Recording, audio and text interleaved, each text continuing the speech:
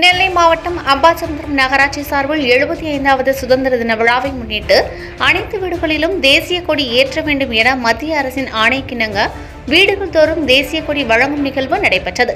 அம்பாசமுத்திரம் நகராட்சி புது கிராமம் தெருவில் தொடங்கப்பட்ட நிகழ்வில் நகராட்சி தலைவர் K. K. C. Prabhakara Pandian தலைமை தாங்கி அனைத்து வீடுகளுக்கும் தேசிய கொடியினை வழங்கினார். மேலும் நகர வியாபாரி சங்கங்களுடன் இணைந்து வர்த்தக நிறுவனங்களுக்கும் தேசிய கொடி வழங்கப்பட்டது. நிகழ்ச்சியில் நகராட்சி கவுன்சிலர்கள் ராமசாமி கோதர் இஸ்மாயில் மாரியம்மாள் நகராட்சி சுகாதார ஆய்வாளர் சிதம்பர ராமலிங்கம் நகர வியாபாரிகள் சங்க தலைவர் சந்திரசேகரன் பொருளாளர் கோவிந்தராஜ் மற்றும் நிர்வாகிகள் பலர் கலந்து கொண்டனர்.